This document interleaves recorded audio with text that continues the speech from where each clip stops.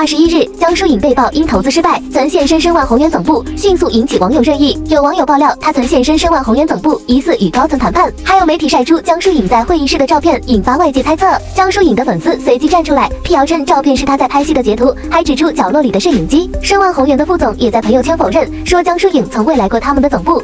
看来江疏影雪球爆仓的说法只是空穴来风。江疏影目前正在录制综艺节目，与其他明星一起体验乡村生活，探讨恋爱话题。节目中，蔡少芬问她是否有男友，江疏影直言自己单身。刘亚瑟也表示和她一样，都在感情上躺平，享受单身的自由。江疏影和刘亚瑟相互理解，彼此心照不宣。江疏影出道多年，曾有过不少绯闻，尤其是和胡歌的恋情瓜，因为两人都是上海人，颜值高，气质佳，被网友寄予厚望。可惜最终无果。如今胡歌已经结婚生子，幸福美满，而江疏影仍是单身。既然江疏影爆仓。传闻已经澄清，最后也祝他早日找到属于自己的幸福吧。